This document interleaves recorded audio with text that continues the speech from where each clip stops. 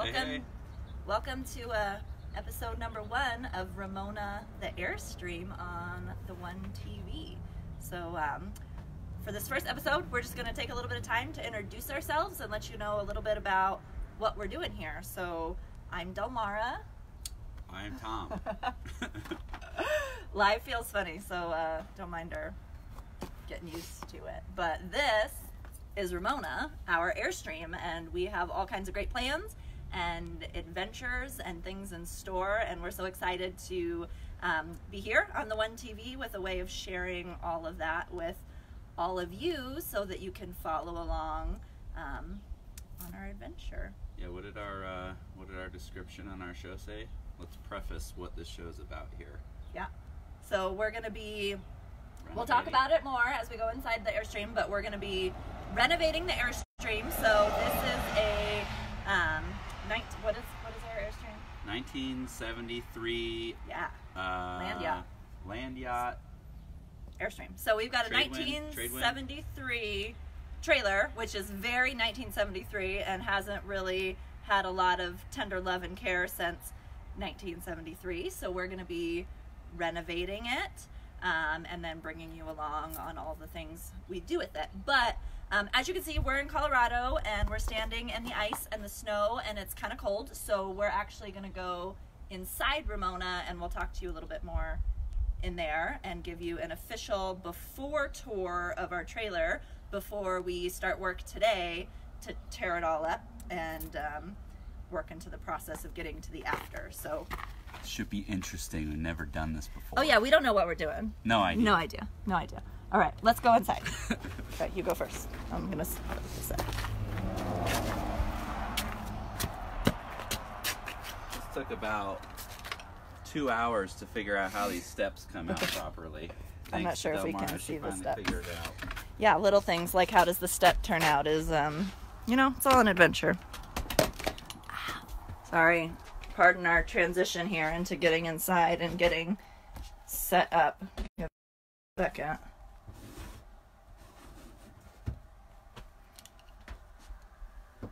All right. All right, we're in. Why are you pushing all the buttons? Sit down. Trying to see what works. It did work. Oh, man. Apparently, Hold don't on. know more. Hold on, bear with us figuring out lighting here. That's super bright. Okay, so we just want to talk a little bit about how this came to be, how we ended up sitting in this crazy thing in our trailer. This light is so bad. Me? It's me? Here, talk while I figure out how to make the light bad. Um, yeah, so basically, I have a um, Is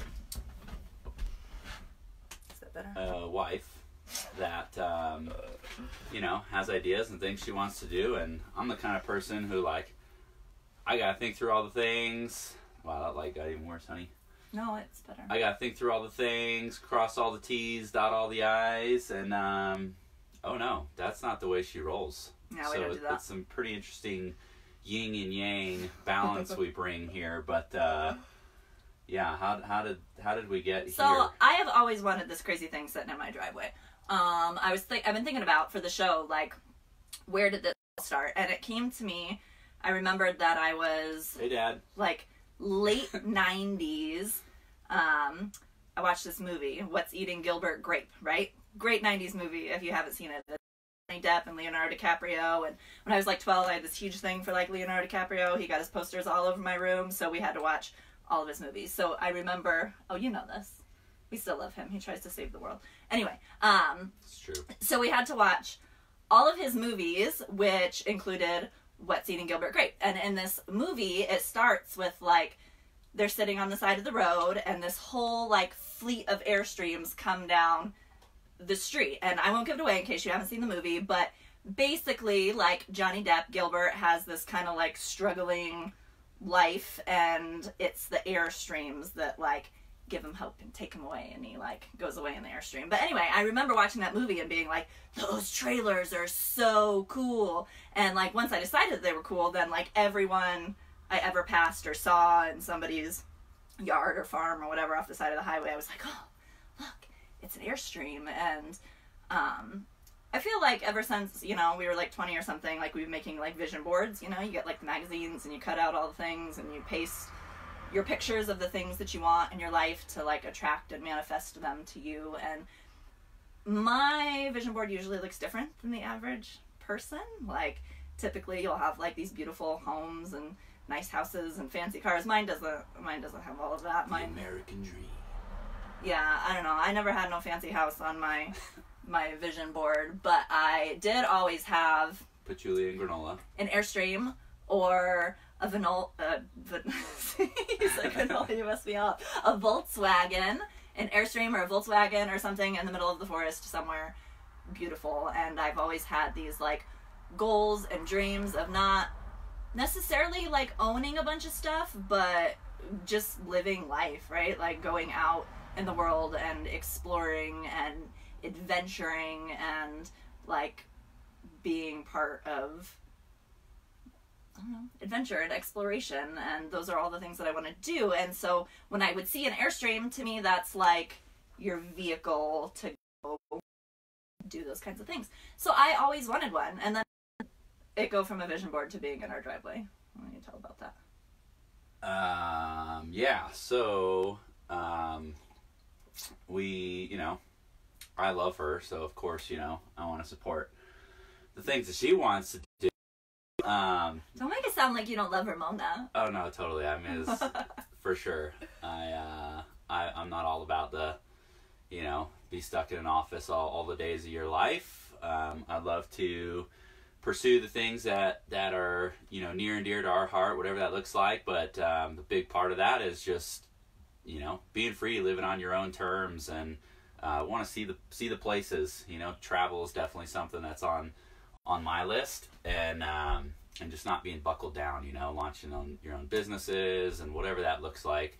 Um, you know, being a, a better force in the world. So, anyway, side tangent there, but That's very long term though. So when he says like that, like that's like long term goal. We would love to Oh, like yeah. live in this thing, drive around. Like that'd be cool. we're nowhere near there yet. So I think where we the in between all here and all that is we as a family we have three kids. We've got this big crazy hundred pound dog, and we told them all to come out in a little while. So hopefully you'll get to to meet them if they choose to come out. Um, but we love to camp. We love to camp. We love to explore. We're a homeschooling Mm. family, and when we there's this term um, called road school, and if you're a schooler, you might know that, and if not, maybe not. But basically, what it means is like you're learning by going and doing. So when we go and we travel and we take a trip, like that is a whole unit study for our children, and that's like how we learn and what we do. So we love just going out. Like I would rather teach my kid like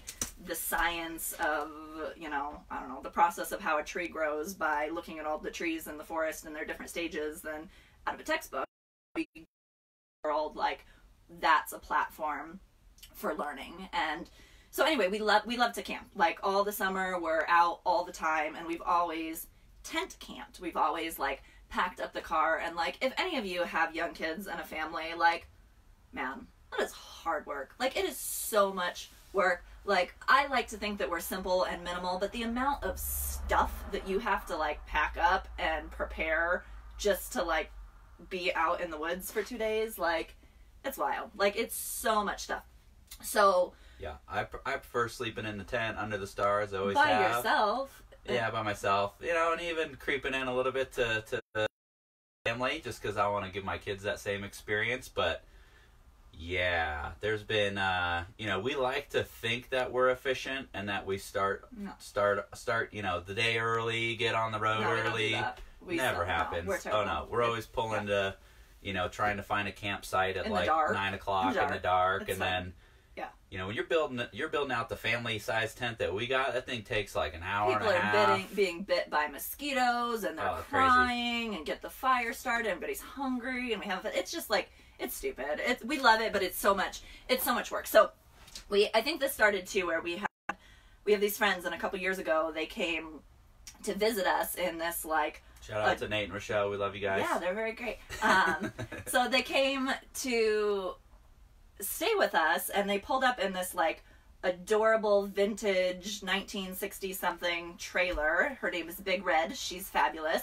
And they parked this thing in our driveway, and it was this joke that they're like, you know, cousin Eddie, the Griswolds, like coming to stay with us and live in our driveway for a couple weekends or for a weekend. But um, like just after that, we were like, man, that looks so easy. Like, look, all their camping, all their food, all their things they cook with, all their clothes, like they literally just hitched it to their truck and left. Like it would have taken us five hours to break down all of our stuff and wrap up all the sleeping bags. And Oh, so yeah. anyway, after that experience, like every time we were went camping, like we had this new realization of like, man, this is hard work. Like this is this is terrible. We need a trailer. We need a trailer is what we need. So um like so many things like you just want something but you don't necessarily go through the steps of making it happen. And last year in the spring um we just had some stuff. We sold a property that we had and we ended up with just a little bit of money enough to be like maybe we should get that you know camper. Like not a lot but enough. And um so we started looking at just little campers like maybe a pop-up camper maybe something. And you know the way that i do things I don't know why you said pop up camper. You were not looking at pop up. we were looking at little campers for a minute and then to another and i was looking at inexpensive little campers i was i was try- I, I tried for 45 seconds Yeah. but while i was looking for those 45 seconds for a little trailer um i started seeing airstreams and then it's like, oh, well, for just, you know, a little bit more, then we could get the thing that we always wanted that's always been on my dream board. And, you know, Tom, you're so handy, so then we can. Yeah, so fix this, this, this was like and- this was like Tuesday, right? this was on a Tuesday, um, if that, maybe even Wednesday. You started finding these, right? Something like that. hmm I come back home from work the next day, and then what happened? And then I said, honey, I found one. It's only 400 miles away, and look how good of a deal it is. And I've been looking, and it's such a better deal than all the other ones. So um, we need to go to Wyoming tomorrow. Okay, it's fine. It'll, it's just you know, it's just only two or three times more than we wanted to spend, and um, we can fix it up, and we can do this, and we can rent it out, and then eventually we could have a property, and it could be an Airbnb, and we can, and we can, and we can, and don't worry, honey, it'll be it'll be great. So I Yeah. talked to the guy, and we need to go to Wyoming So tomorrow. yeah, so remember how I said like I'm the guy who like I gotta cross all the T's, dot all the I's, like do all the research. I went into full freak out mode. You know, I'm like, holy cow, there's no way. Like you just Tuesday had the idea. Here it is Wednesday afternoon. I get back from work and she's like, here's three different ones that we can look at, but I don't know about this one. This one's kind of a little weird, but we can go check it out if you want. But this one here, that's I think it was 500 miles away. I don't remember. Where was that in Wyoming? Um, basically South Dakota, Wyoming, Yeah, yeah, yeah. on the northeast like corner, Mount Rush, but like right Mount um, Rushmore. Coal Town, Wyoming. Uh, yeah, not even like. Okay, so that's like in a day or two days from now, and I've got this truck that is like basically falling apart. You know, I bought this thing and had to put much money into repairing this stupid thing. I don't even know if it's safe to drive, so I'm like, okay, I guess we just figure it out, right? And it always ends up working. Like I love her for that. Push, and then I I actually work pretty well under pressure in that like eleventh hour procrastination time. So I feel like this is going to come up multiple times throughout the episodes. So here's one thing you got to know about me and T- me and Tom is Tom, like you said, dot the i's and cross the t's. Like whatever it is that we're going to come across, he's going to be like, well, um, well, what if this or what if that or what if we do it like this? And I got to research all the things and I got to see if it's like this. And then I say, we'll be fine. We'll be fine. It's going to be fine. Freaks me out. it's fine. And Yeah. then he freaks out and then it's fine. Yeah. So is then I'm like, things. okay, so hold, on. Like, this is a big trail. I've got a, you know, a 1500 Dodge Ram that's like an older truck, and uh, the catalytic converters are going out. It's got like half the power. I don't even think I got the right tow hookup, and I didn't. I didn't have the right tow hookup. Um, so I'm like, I'm running AutoZone. I'm like, okay, I need to get the right pin set up, the hookup. I got to get my catalytic converters done. I called a buddy. Fortunately enough, he was able to like work on it the next day and get a couple of those things done. And uh, it's toe lights. It's fine. It's fine. yeah, It was fine. it, it ended up fine. So we got it good enough. You know, it was safe enough. uh, to pull this thing. And uh, fortunately, in hindsight, there were no hills or mountains because That's another story. Save that yeah, story for another another story down Another the story. road. So we got it. Blew up on the side of the We mountain. got it. No, we'll save the truck blowing up on the side of a mountain for another another day. Yeah. Give 'em some.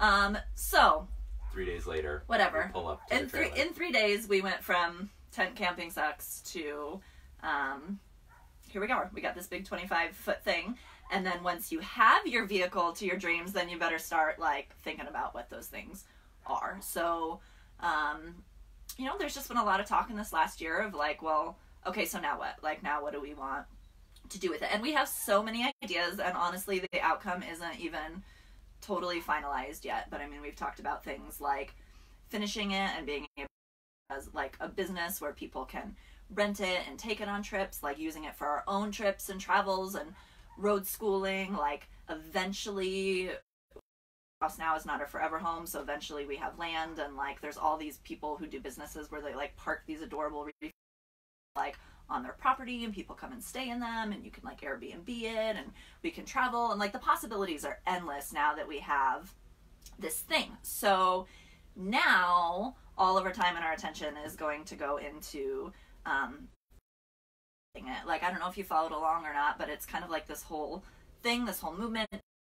Take these old trailers and like redo them and turn them into like this tiny living type um, environment and see the world. So that's what we're gonna do. But there's um there's a lot between that and now. So we want to show you Ramona as she is, and um, actually I really love all of the the vintage 1973 feel of this trailer. Um, I love these yellow mustardy countertops. They're my favorite color. They're so good. Um, I would leave some of it if I could, but the reality is that most of it doesn't work. Like right now, this trailer is basically a glorified uh, tent. Like some of the comforts that we would love to come with it, like plumbing and water running and um, being able to cook and use all the appliances. Like they don't work. Like none of this stuff works. Like We did use a stove for a little while. also another story. Another Let's that. story. A We, we almost blew We've got a couple adventures that we've done so far, and we're um. So anyway, I love all of its original form, but most of it's broken. Most of it doesn't work. So what we're going to be doing over this next year or so on this journey, you're going to come with us to start. Um, is we got to refinish this thing. So we are going to be taking it basically down to the shell. Like we're going to be taking out all of the interior, all the walls. We're going to be taking off all the paneling and redoing all of like the insulation and the wiring and the gas and the propane and the plumbing and the tanks and all this stuff. And we we we don't know what we're doing. We have no idea. Thank God for YouTube. YouTube is amazing. Tom, and, a, and a handy heritage. yeah, Tom, my husband here is and that he has the ability to like have no idea what he's doing and then like do it and it's amazing. And Thank you to the he does. Bueller family for those genes. yeah, he's got genetics in his family that like Uncle Tom, yeah, he just pick, he just take a power drill and watch Uncle a YouTube Ralph. video and like it's great. man. So I'm certain though, like all things that we do, we have these really great. It'll be simple and it'll be easy intentions, and then we come up with like 25 things that we didn't anticipate. So it's going to be an adventure to get this thing refinished, but we're going to do it, and it's going to be fine. It's going to be fine. It's gonna be fun. It's gonna be fine. It's gonna be totally It's gonna be great. Yeah. Um, but we're going to be taking her totally down to her shell, redoing all the things. We're going to be um, redesigning it to fit our family. It is a very small space, and there's um, five of us, six if you count the dog, which I think it counts because he's huge. Like And and a half. um, we all got to fit. So we got to have a place to eat and to sleep comfortably, a place to shower, a place a place to live, a place to be able to do life in this tiny little space with um, all of our all of our people. So it's gonna be it's gonna be some work, but we would love to show you what we're what we're starting out with before we redesign it. And um, I think our family will probably be in in a couple minutes. So let's see let's see what we can show you. The light is rough in here, so bear with me. Oh. The thing that says the video stopped broadcasting, but it still says it's live, so we're gonna We're gonna try. I don't know. Um, rotate your phone. Sorry. Oh. Uh oh. He's coming. Hold on. The family's coming. I was gonna show you. We can have you meet the family first. Hey. Are we still on live? I saw a thing that said it stopped. If anybody can still hear me, give me a thumbs up or a heart or a comment or something. All right. I think we're still recording. Hi, bud. So this is our family. Let's close this because the light is bad. Our family being here means we're running low on time, so we'll meet them and then we'll give you our official tour. So oh, that light, it's just so bad. It's so bright. Um, outside now, so you're blocking. Hi, Kristen family. Then you can't see my All right. Hi. Hi. Uh, what's your name? No P. Noah. No. what about you? No, no E. You're Elijah. That's Elijah. He's our wild one. Noah's probably going to help with some of the construction because he's quite the engineer, thinking of how things work and fit and function. What about you? What's your name? Juliet.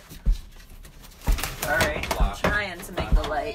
Sorry, I'm trying to make the light not terrible. So Juliet is a incredible designer, fashion person, all the things. So she's probably She's gonna help make this space two hours beautiful. to go to the bathroom. She's gonna help make this Unnecessary space information. beautiful. And uh, Mr. Elijah, we didn't give you a description, but he's making me crazy. And how that looks different for so many different people, and how we can have all these goals, um, which are good, you know, which are really good about being responsible in certain ways, like, um, you know, just certain savings and insurances and like investments and different things that you can do to be responsible and different ways that you can spend your finances and your time to do responsible things with your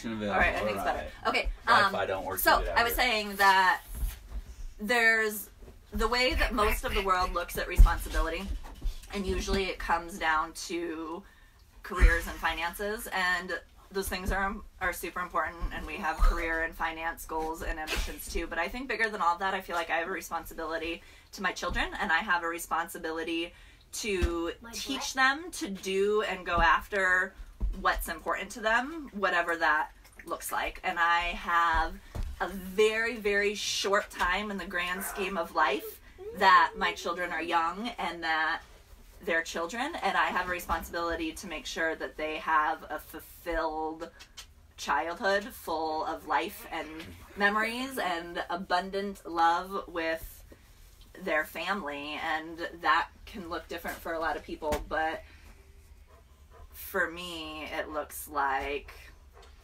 going out- pursuing your the- heart's desire. yeah, pursuing your heart's desires and building family time and memories and stuff that's going to stick with them in their mind and their heart for for all of their life. So that's what we're going to do. That's what we're going to do. That's my number one responsibility in this think I- season of life is Yeah, I think another way. Oh, sorry. no, um, no, you're good. another way of looking at it is, you know, h- how do you live rich, right? I think a lot of people's definition of being rich is um, lots of money or cars or fancy things or the, the perfect career or whatever, right? And there's, but you know, you can also just live rich in love and all the things that you um, are on your heart that you were called to do, that you were created for, and by going after those things, pursuing those things, living those things, I think that that life is even more rich and more sweet. So definitely something we've been learning more Hey, you can't over see the me. years. Oh, wait, So no, here we are. So- Juliet. The Kristen family and Ramona doing Alright, just the thing. let's So tour this thing yeah, I'm going to show you of the thing because I know we're close to out of out of time. time. Out of time.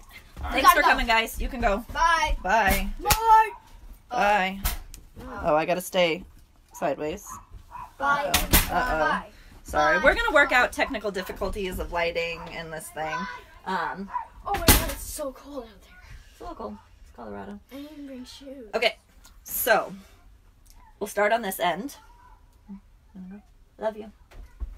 And this currently is our bed where Tom and I sleep, and it pulls out into a bed. Pull that out. Um, I don't think you need to pull it out. No, it's going to be a dining room table that will convert into a bed, but for now, it's a bed. Yeah, we're thinking like a little wraparound kind of thing. So you got a big giant bench because right now it's, it's kind of hard to fit everybody, especially if you have a couple guests over. And in the middle will be kind of this pop up table. So then you push it down, mattress goes on top. Um, and then when you're ready to eat, you pop it that puppy up, and you got this nice little round table around it. So, Mhm. So we have over here is kind of like oh, the lights, man. We gotta figure this out. This is our kitchen area. I think what we'll do, you know, I think what I'm gonna do is I'm gonna post before pictures because this is not this is not Oh, yeah. happening. It's not happening. You can't see anything. It looks bad. And we're up for time. So I'm going to take some pictures of before for Ramona to officially document Yep. her before. Alright. And I will post those for you so you can see them because Go around a couple things not- here. Yeah, we you can look around a little bit. There you go. old fridge. Old like that don't plastic that don't work. paneling and things that Oh, don't yeah. work. Little food pantry cabinets that'll be getting redone. Panels up there. Lots of yellow plastic, lots of broken things, lots of Oh, yeah. um, stuff that doesn't function, part doesn't of work. part of one of those stories down in here. That that gas line uh, busted open and was leaking, and we almost blew this puppy up on a What's Jackson but trip. Adventure. Ooh, that was fun. Not really. There's the stove. Probably get that bad boy redone. Come over here. We got some little side storage, some overhead compartments. That's all gonna get ripped out. Starting this afternoon, we start demolition. So the next time we come live, this trailer is going to look very, very different. We're going to spend the afternoon. Uh, whole uh, another couch over here, which fold, pulls out as a bed. So that's actually gonna get um, redone, and we're gonna be putting some bunk beds in here, so that way two kids can go down below, and then one up top, and then these will have to go away so that um, Juliet's not smacking her head on that. um, Got some closets over here, bathroom's disgusting. Yeah. Doesn't work. Haven't used it. shower area over there. Yeah, it's pretty dirty back here. This has all been not working, so we haven't really spent much time, effort here. Toilet, um, that doesn't work. I mean, it kind of does, but the black tank's got a crack in it. Uh, another compartment over there. So anyway, shout out, shout out to uh, Nathaniel, by the way, who didn't realize the toilet was not working last time we were camping, and he he peed in there. so who knows where that went? I don't know, but Oh, buddy. all right. Well, I don't know. What Okay. else? No, that's all. We're over time. So um, we'll post some pictures for you, and then we are going to get off of this video so that we can get to work on ripping her up. So I'm excited to show you the progress we've made next time we come live. Our show is going to be the second and fourth Saturday of every month, um, 9 Pacific time. So 10 here in Colorado or, you know, wherever you are in whatever time zone. And um, we're just excited to show you our process. It's going to be it's going to be an adventure. So thanks for coming Should along. be interesting. Definitely be an adventure. And according to her, it'll be It's fine. gonna be fine. It'll, It'll be fine. Everything's fine.